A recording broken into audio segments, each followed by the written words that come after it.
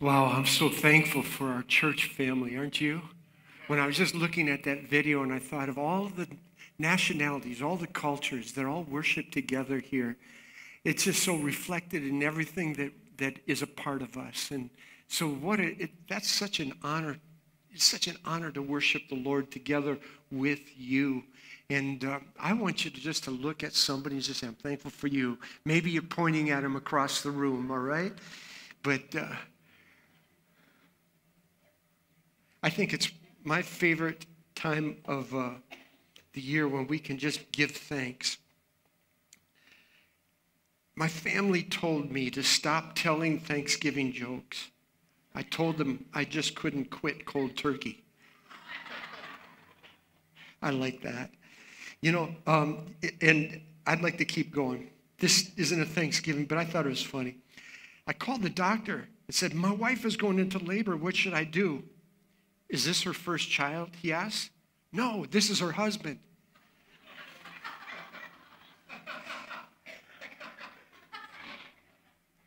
Here's another uh, dad joke.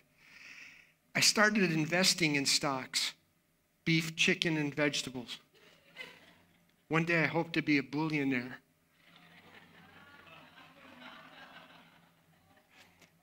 That is funny every day of the year. I mean, that is priceless. So just hang on to that one, all right? well, we are thankful. And uh, I am thankful that uh, we get to meet together to serve and enter into his presence. And today we are going to, we are going to continue to do that. So I pray in the next few moments as we open up this word today that it will speak to us and change our lives. So, Father, that's what we pray.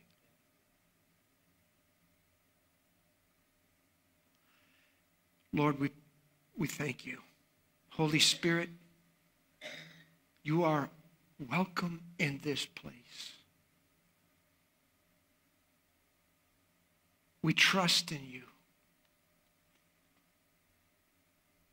We need you. You really are the air that my, our spirit breathes. So may our spirit just come alive and grow as you speak to our hearts today. In Jesus' name we pray. Everyone said, Amen. I want to bring your attention today to Hebrews, the 12th chapter. This scripture, and can you turn the lights up in the auditorium? If you would do that, that'd be great. I want you to, if you have your Bibles, you can open up to this. If you have a device with your Bible on it, I want you to open up to this scripture. It, this is a scripture that I have, uh, for a long time, I've just internalized it, which is a, a way of saying memorized it. But it's, there's so many scriptures that as you're meditating on this word, as you keep going over it in your heart, it just becomes inside you. Isn't that right? I, I, to me, at least, memorization is something I do with my mind. Internalization is something I do with my heart, my spirit. Did, did, did that make sense? So when I, in, when I see internalize it, I'm just saying, don't just do this with memory. Let it go into your spirit. And it's a scripture that I believe um, really directs us as we enter into prayer. It just gives us perspective. And that's a word we're going to use a little bit later on. It gives us an understanding of what happens when we pray. Now, to set this up, before we go to the verse, um, you need to understand what happens before the verse we're going to read. The writer of Hebrews, which I, many believe is, was Paul, Paul the Apostle, the writer of Hebrews is talking about bringing our attention to the moment when Moses went up a mountain to meet into the presence of God. And if you look at Exodus 19, you will see this is the place, by the in Exodus 20, we get the, the Ten Commandments. But in but going up there as he's meeting with the presence of God, there was thunder and lightning and flashing, and all the people stood at a distance around that mountain. The whole nation of Israel had just come out of, of uh, hundreds of years of, of slavery and now they're on their way to the promised land. They came across the Red Sea and uh, they saw the miracles of, of God. And now they're standing at the foot of this mountain. And the Bible says that it be, this presence of God was so powerful that the mountain and everything was shaking around them, and thunder and lightning, and people, they looked up, and here's Moses in that mountain. But the people began to, I mean, they were filled with fear at the presence of the mountain. But then Paul, as he's writing that, he comes to this scripture, and we're going to start reading in verse 22, if you'll follow along. But you have come to Mount Zion, the city of the living God. You have come to the heavenly Jerusalem. You have come to thousands upon thousands of angels in joyful assembly. One translation says this, this way You've come to thousands and thousands of angels in joyous celebration. Now, I want to pause right there. I want to just talk, just share just this whenever we're praying, the writer says, in this moment, it's not like what it was when Moses himself went up to the mountain and you stood at the foot of the mountain. And the, everything was, was just so filled with power. But he says, now there's a change. Now you, you have come to Mount Zion, the heavenly Jerusalem the city of the living God. You have come to thousands and thousands of angels in joyous celebration. So when you get down to a place of prayer and you bow your head and you just come before Him, you're not just talking to nothing and you're not just in this room just looking at the ceiling.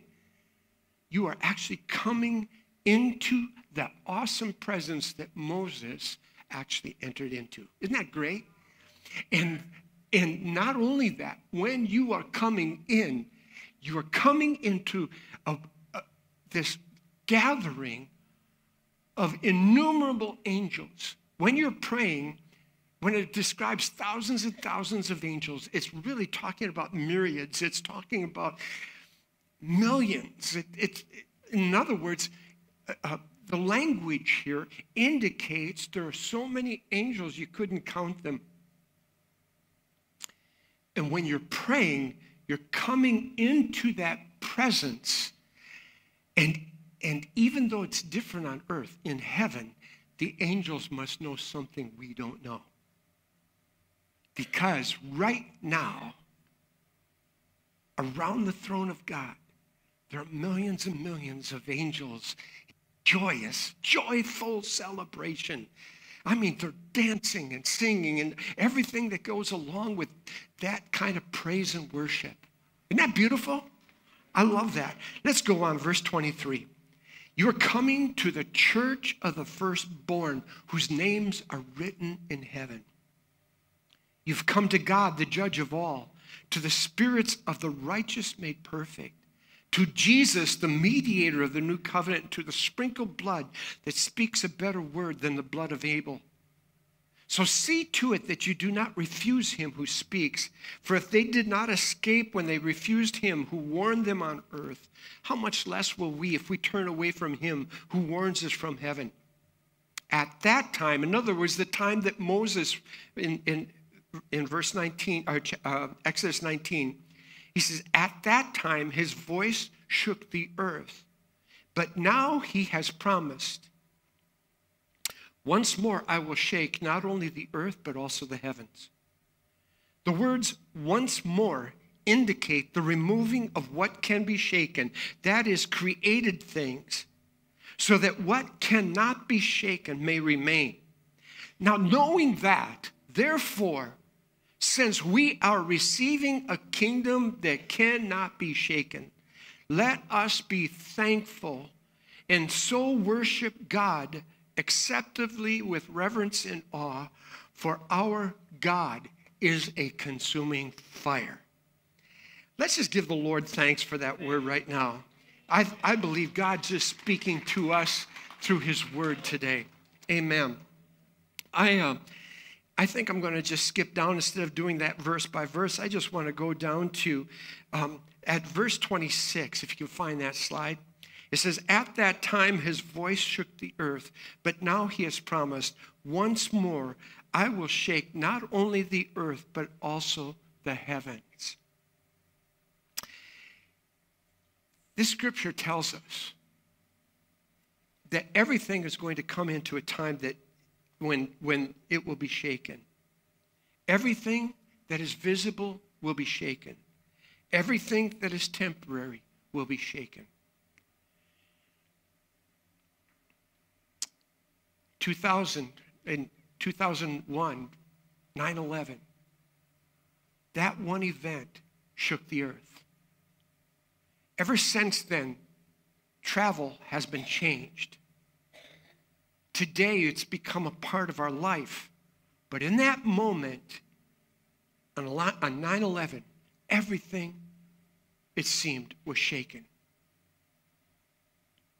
A few years ago, when the announcement was made about COVID and everything was being shut down, at that time, everything was shaken. I remember that because there were I would still come into this building every day. And everything was shut down, but I would, at, during the time that would be normal rush hour, I'd be driving on the freeway all by myself. And during that time, just I would walk through this building and just kept praying for everybody. And, and there, there was so much fear in the land. So much fear that people felt that if they stepped even outside the doors of their house, they would catch a deadly plague. That's the kind of fear that was shaking the land. During the time that was shaking, during that time, it seemed like everything was turned upside down. When I remember one day, I, during that time, I just felt like I needed to keep encouraging all the people that were in my sphere of influence. And I would do these, these brief videos in key locations. But I remember one time, right during noon hour, go, standing downtown St. Paul, and the streets were empty. And I was standing in the middle of the street doing a video about how God wanted to bring healing and hope for people. Everything was shaken. Then, October 7th, just a few weeks ago, once again, everything was shaken. It started out as a normal day. It started out with, a, with everything was completely normal. But everything was shaken when terrorism hit destroyed and murdered and massacred people.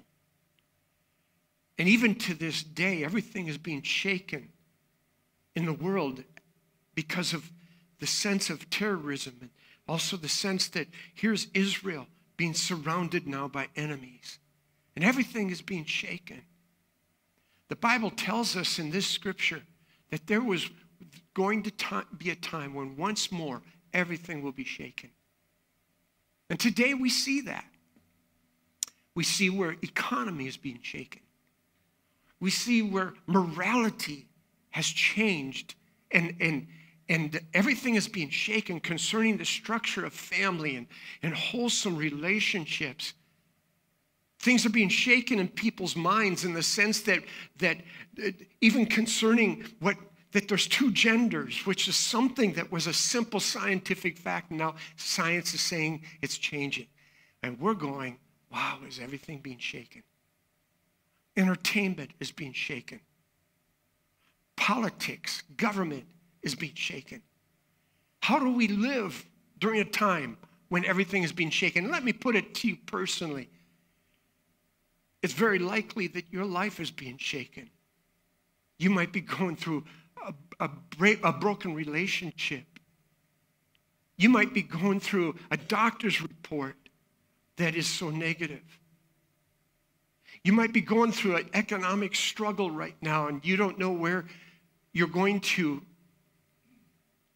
even receive tomorrow's food.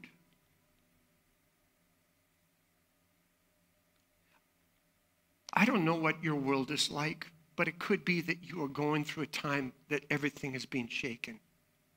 Well, here's what God's word says about that that everything will that is temporary everything that's temporary in our life everything that's visible will be shaken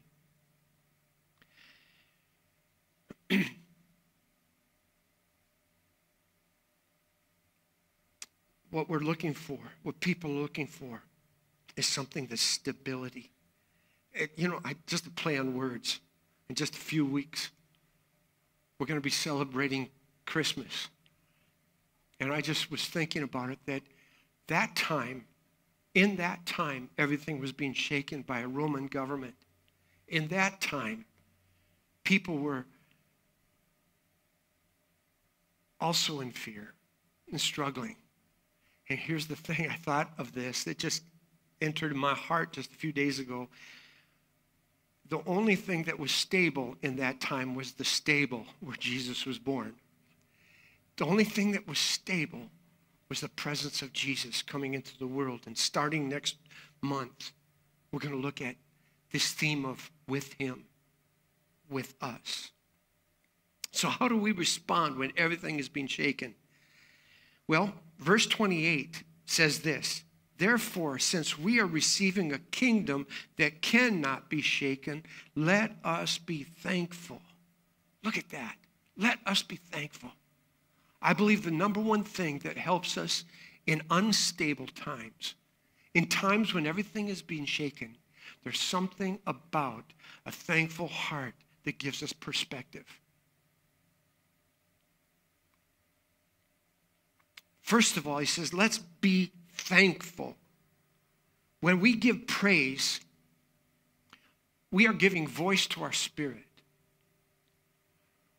When we are thankful, we're opening up. We're opening up our perspective to see what God sees. And that's why it says, rejoice always, pray without ceasing. In everything, give thanks. In everything, give thanks. When everything is being shaken, in everything, give thanks. Rejoice always. Never stop rejoicing. Never stop joining with the angels around the throne. Never stop rejoicing with the angels around the throne. Don't let the shaking that's happening with temporary things in your life be your focus. When we give thanks, it opens up our perspective to see what God sees. And we begin to realize that we have come to a mountain that cannot be shaken. We have a kingdom that cannot be shaken, and it is eternal. Do you realize, friends, every single government that isn't the kingdom of God will be shaken, and every single government is temporary.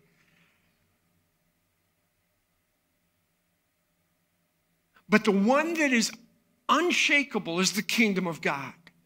And when we see the kingdom, no matter what's happening around us, we are going to rejoice with the angelic hosts that are surrounding the throne. There will be a joyous celebration. I know everything's been shaken, but isn't that great? God is unshakable. Hallelujah. I love the story in Second Kings, the sixth chapter. Whether you know it or not, we've been singing about it. Elijah, he's with his servant. And uh, God's giving the prophet of God, he's giving him over and over this, this picture of what the terrorists are doing in advance. And by the way, I believe that we need to have prophetic voices today. Isn't that right? I believe that we need to have a prophetic voice today. You see, um, Elisha, when he was when he would pray, God would speak to him and show him how the terrorists were going to come against Israel. And, and all the way back in 2 Kings 6 chapter, is in all throughout Scripture, you can you'll read over and over where terrorism was focused against Israel.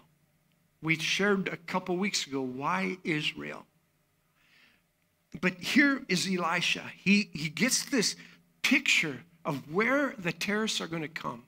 He goes to the king and he tells him the plans of the enemy. This happens over and over until the, the, the head of the Syrian army, he begins to figure out what's happening. He's told that there's Elisha the prophet, so they feel, they believe that if we can stop this prophet from giving away our secrets, then we're going to destroy Israel. So they find out where Elisha and his servant are staying in this community, this little village. And in the night, they take their whole army and they surround the village. In the morning, his servant, Elisha's servant, wakes up. He goes outside, I think a normal day. He goes outside, and as he is standing outside, probably he's just stretching and yawning, and all of a sudden he looks and he sees all around him is terrorists. They're surrounding him. And I can see him at that moment just kind of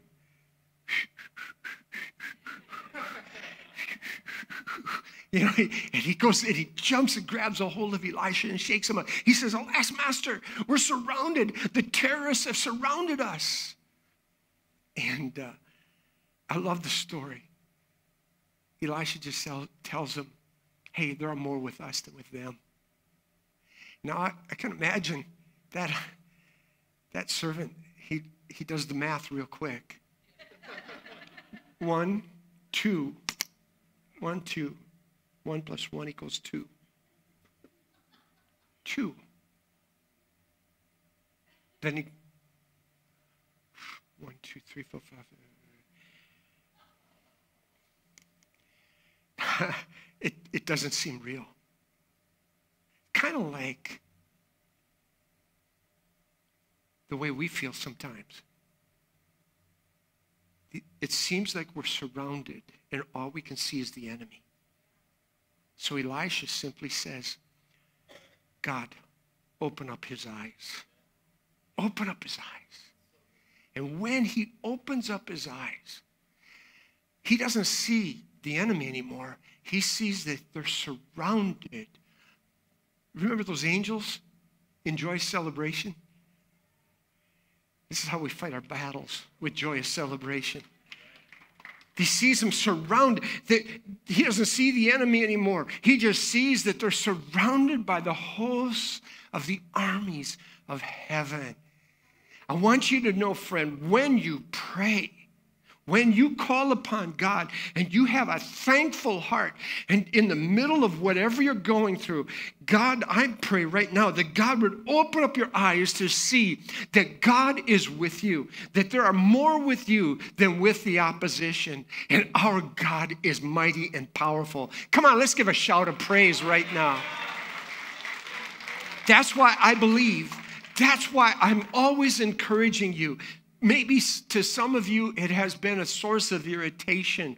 That's because your spirit, your, your soul inside you is so not used to praising out loud that you get irritated when a spiritual leader says, Here's a simple thing of obedience. If you begin to live a lifestyle of thanks, if you begin to live a lifestyle of praise, what will happen is you will have, you will have victory. You'll overcome because you will see what heaven sees. You will see what heaven sees. So I pray that your eyes would be open continually. And that's why I'm saying when you come into the presence of the Lord, we do it with a thankful heart. Well, I'm going to go on here, but you know, the second thing it says, so it says this see to it, worship Jesus with reverence and awe. I want to go back to that verse, verse 28. Since Therefore, since, because of all of this, since we have received a kingdom that cannot be shaken, let us be thankful and so worship God with reverence and awe. The second thing is, we must worship Jesus with reverence and awe. Worship Jesus with reverence and awe. I believe that that worship means it becomes, he becomes so highly valued. His presence becomes so highly, highly valued that you are in awe of his presence. You know, I've been amazed lately. Uh, I know for those of you who are not familiar with football, but I've been so amazed lately how um, just one uh, one young woman who attends a football game draws the attention of the world. Her name is, I don't know, like Taylor something. I don't know. But but what I'm what's amazing to me is how we know how to give reverence and awe to popular people in the world. We know how to we know how to respond when when uh, it's just something that triggers with inside of us. Wow, Taylor Swift is in the is in the audience, and and what they say that it the NFL the viewing of it has gone really uh, high, especially with young women, young girls. But I'm just saying to you, we hold people in reverence of awe but sometimes the way we approach God is like, well, okay, he's here, fine. It is true. It, we, we say this quite often God is here right now, He's in the house. But the reality is, when we experience what we did earlier, it's not that He's in our house, we are in His house. Amen. And when we do that, we hold him.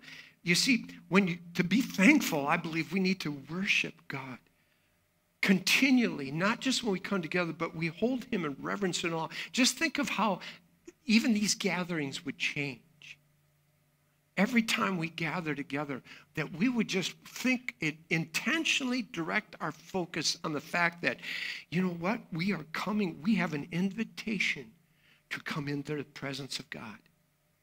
For those of you who are reading one year Bible, I already read tomorrow's. And, and uh, tomorrow's in, in Ezekiel, the 40th chapter, it describes the building the temple. And it's, it's actually giving you an architectural picture of what the temple looks like. But then it describes this group of priests called the Zadok priesthood. They're priests that are the descendants of this godly man who was, his name was Zadok, who, who just was so filled with commitment and faithfulness and encouragement for King David. And God honored Zadok by blessing his, his sons and daughters.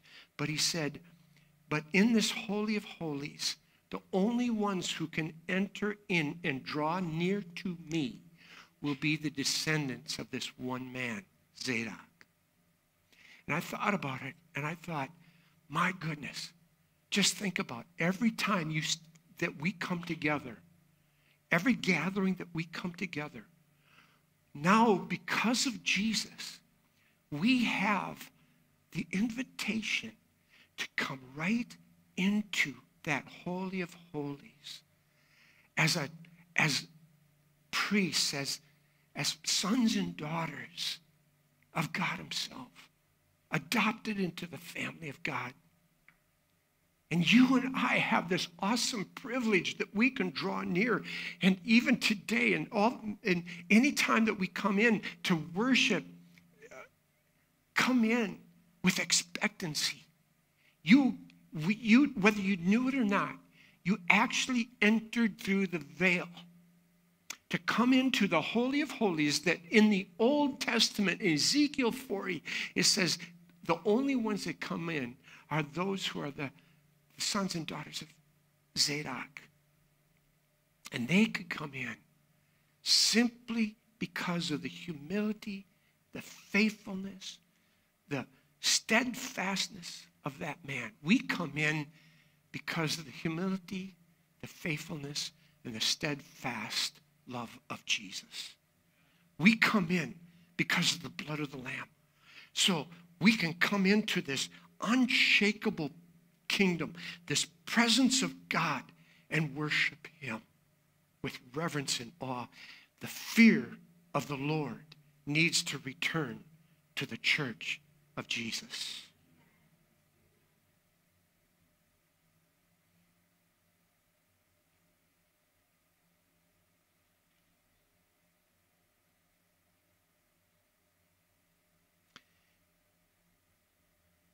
Valuing his presence.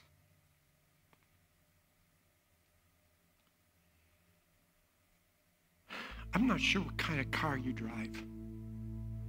You could be driving a, you know, a 1990 Prius. I don't even know if they made Prius back then.